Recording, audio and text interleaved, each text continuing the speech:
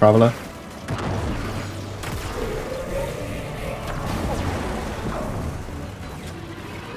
Oh god. Fuck off, roll. that was terrifying. uh, Dark